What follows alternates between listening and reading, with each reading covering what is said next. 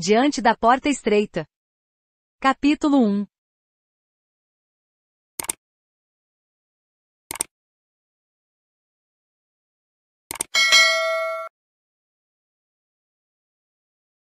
Milhões de homens estão à beira da religião, distantes de Deus e da paz. Por estes oramos, e a estes damos um aviso.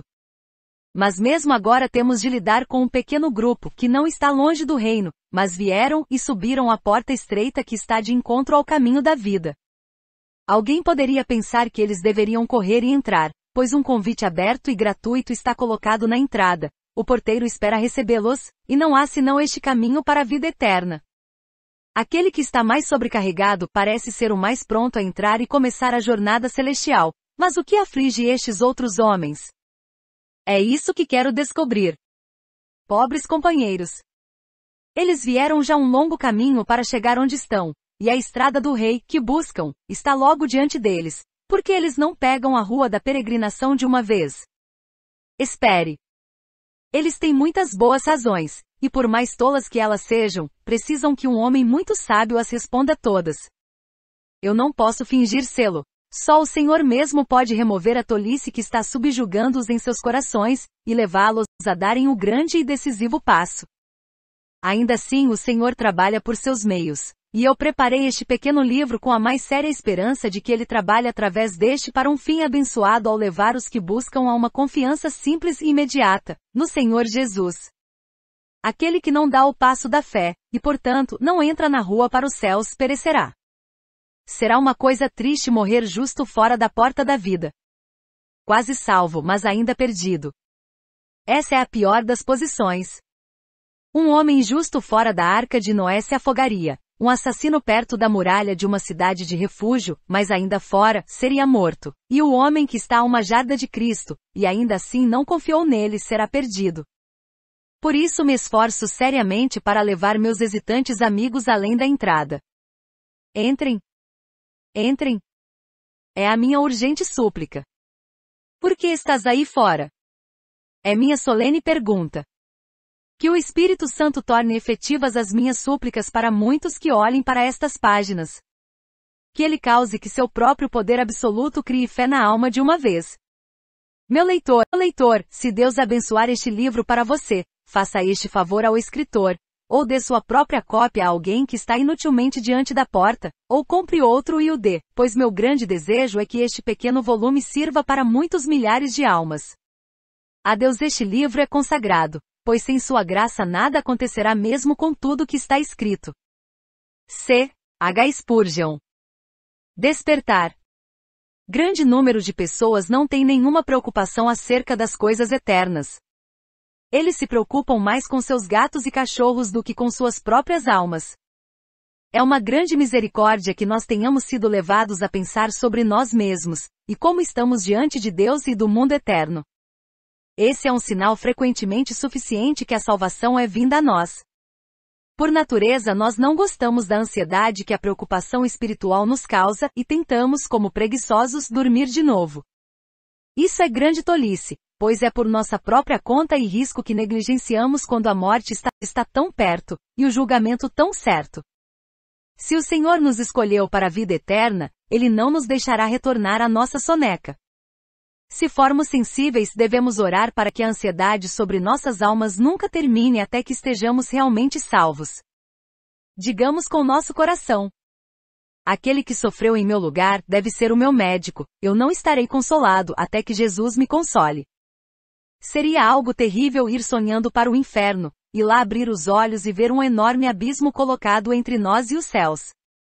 Será igualmente terrível ser acordado para escapar da ira vindoura, e então sacudir a influência da advertência, e voltar à insensibilidade. Eu noto que aqueles que subjugam suas convicções e continuam em seus pecados não são tão facilmente sensibilizados da próxima vez. Cada despertar que passa deixa a alma mais sonolenta que antes, e menos apta a ser novamente sacudida com sentimentos santos. Por isso nosso coração deveria ser grandemente conturbado com o pensamento de se livrar deste problema de outra forma que não no caminho certo. Alguém que teve gota foi curado da mesma por um medicamento charlatão, que trouxe uma doença interior e o paciente morreu. Ser curado da aflição da mente por uma falsa esperança seria um péssimo negócio. O remédio seria pior que a doença.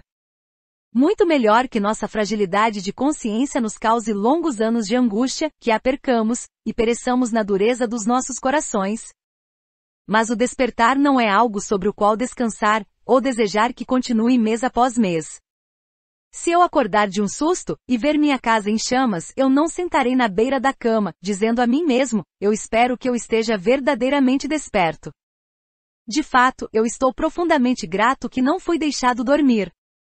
Não, eu quero escapar da morte ameaçadora, e assim eu corro para a porta ou janela, para que eu saia, e não pereça onde estou. Seria um benefício questionável ser desperto, e ainda assim não sê-lo para escapar do perigo.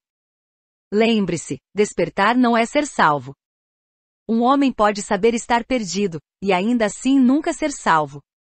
Ele pode ficar pensativo, e ainda assim morrer em seus pecados. Se você descobrir que está falido, a consideração sobre seus débitos não os pagará. Um homem pode examinar suas feridas por todo um ano, e elas não estarão mais próximas de ser curadas porque ele as sente inteligentemente, e sabe o seu número. É um truque do demônio tentar o homem a se satisfazer com um senso de pecado, e é outro truque do mesmo enganador insinuar que o pecador não se contente em confiar em Cristo, até que ele possa ter certa medida de desespero a adicionar ao trabalho consumado do Salvador. Nossos despertares não são para ajudar o Salvador, mas nos ajudar ao Salvador. Imaginar que meu senso de pecado é para ajudar a removê-lo é absurdo. É o mesmo que dizer que a água não pode lavar minha face até que eu tenha olhado longamente no espelho, e tenha contado as sujeiras na minha cara. Um senso de necessidade de salvação pela graça é um sinal muito saudável, mas precisa-se de sabedoria para usá-lo, para não fazê-lo um ídolo. Alguns parecem ter se apaixonado por suas dúvidas e medos e aflições. Você não pode fazê-los se livrar de seus terrores, eles parecem casados com os mesmos. Disse que o pior problema com cavalos quando o estábulo está em chamas, é que você não consegue fazê-los sair de suas cocheiras. Se eles somente seguissem você, eles escapariam das chamas, mas eles parecem estar paralisados pelo medo. De tal forma que o medo do fogo os impede de escapar do fogo. Leitor, será o seu próprio medo da ira vindoura que impedirá que você escape dela? Esperamos que não. Havia um que tendo estado muito tempo na cadeia não queria ir embora. A porta estava aberta, mas ele clamava com lágrimas que lhe permitissem permanecer onde estivera por tanto tempo. Afeiçoado pela prisão. Devotado às barras de ferro do corredor da prisão. Certamente o prisioneiro deve ter sido acertado na cabeça. Vocês estão desejosos, desejosos de continuarem despertos, e nada mais? Não estão desejosos de serem perdoados de uma vez? Se vocês fossem se demorar em angústia e pavor, certamente vocês também estariam raciocinando mal. Se a paz deve ser recebida, recebam-na de uma vez. Por que permanecer na escuridão da cova, aonde seus pés afundam no barro sujo? Vocês não sabem o quão perto está a salvação de vocês. Se soubessem, certamente esticariam a mão e a pegariam, pois ali está, e está lá para ser recebida. Não pensem que sentimentos de desespero o fariam adequado à misericórdia. Quando o peregrino, em sua jornada para a porta estreita, caiu no pântano do desânimo, vocês pensam que quando a lama suja daquele pântano ficou presa em suas roupas, era para ele uma recomendação, para receber mais facilmente admissão na entrada do caminho? Não, o peregrino não pensava ser assim, nem deve você.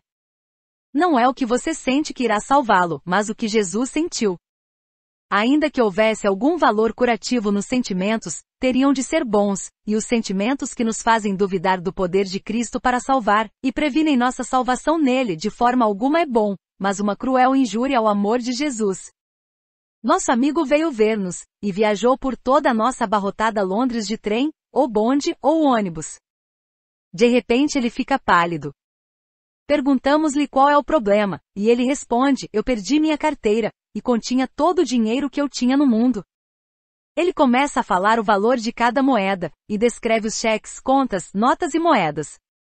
Dizemos-lhe que é um grande consolo para ele saber tão apuradamente o tamanho de sua perda.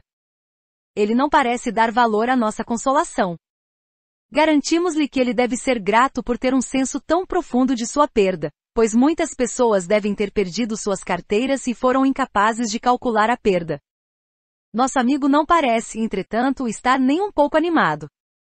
Não diz ele, saber minha perda não me ajuda a recuperá-la. Diga-me onde achar o que é meu, e você me terá dado ajuda real, mas meramente saber minha perda não me dá nenhum conforto.